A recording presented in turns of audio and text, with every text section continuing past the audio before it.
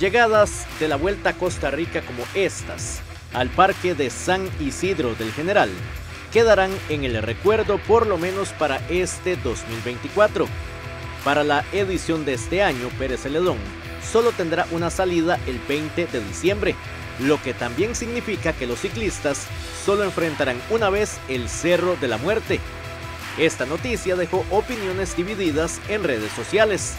Excelente, se llama Vuelta a Costa Rica. Otros, como los del Sur, Golfito y Cotobruz, también merecemos tener llegadas. Y esa cronoescalada de fila de cal se las trae.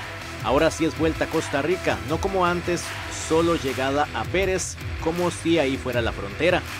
A Pérez Celedón le dieron o se llevaron a cabo los campeonatos nacionales, es bastante creo. Ahora la vuelta depende de donde haya presupuesto para recibirla. Excelente, así no cierran calles ni colapsan el tránsito en el centro de Peseta.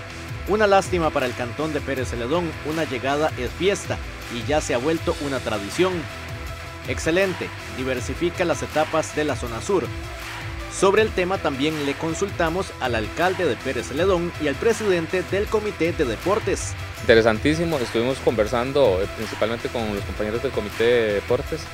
Eh, para ver qué sería lo que estaba sucediendo, pues se trató de hacer algunas comunicaciones también en la, en la parte alta y Coder y demás, y, sí, de, esa manera se, dijo al final, este, Pérez León este año no va a tener este, llegada de la, de la vuelta ciclística, solamente va a haber una, una salida y esperaríamos que como se ha hecho en otros años podamos contar con, con, pues, con, con esas llegadas que son tan importantes para el cantón y pues también un dato importante es que en ningún momento hubo comunicación hacia hacia mi persona como alcalde o hacia las organizaciones deportivas para, pues por lo menos para plantear la posibilidad de que, de que se diera una llegada acá. ¿A ustedes la FECOSE no los buscó en ningún momento? No, no, no, no, en ningún momento.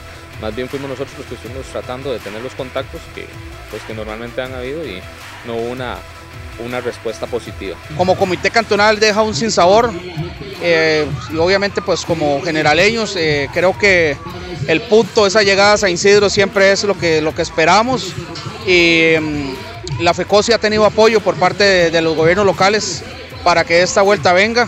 Mm, el año pasado tuvo un buen aporte por, el medio del Comité de Deportes, entonces este, este año pues nos deja, em, nos deja tristes el saber de que únicamente tenemos una salida. La Vuelta a Costa Rica 2024 arranca el próximo 13 de diciembre.